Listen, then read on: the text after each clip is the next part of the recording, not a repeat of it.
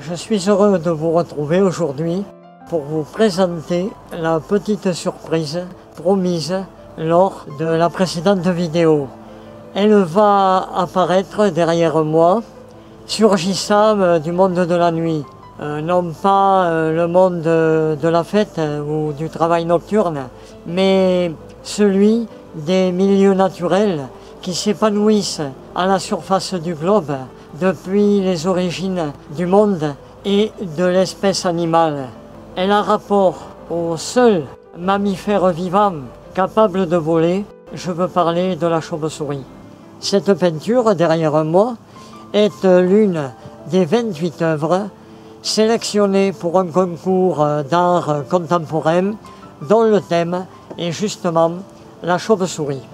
Les 28 œuvres sélectionnées correspondent à 28 fédérations européennes de spéléologie qui se sont réunies du 10 au 20 mai dernier à l'occasion du 8e Euroforum de la discipline et du cinquantenaire de la fédération du même nom.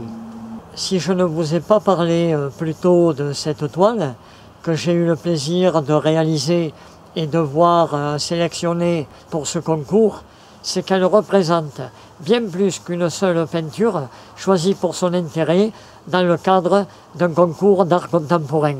Elle représente aussi le volet informel d'une démarche ayant abouti à la réalisation d'un livre où l'univers des ténèbres ne peut se révéler que dans la fascination du merveilleux en interaction avec les magnificences du jour, celle de la vie au grand air sous la lumière du soleil pour vous faire découvrir cela et vous amener dans une incroyable aventure.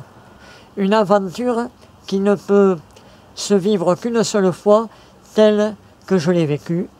Il faut d'abord que je vous raconte son étonnante histoire.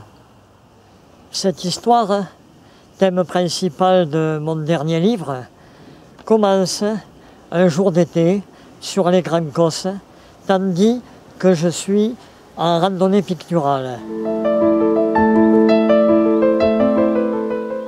Ce jour-là, après une matinée passée sur le terrain à travailler, je me suis arrêté dans un sympathique petit restaurant pour déjeuner.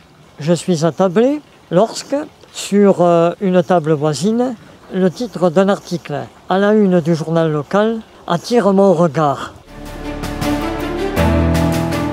Cosse noire unique au monde, une grotte d'une exceptionnelle richesse découverte. Et que vois-je? C'est un ami perdu de vue depuis plus d'une décennie qui l'a découverte.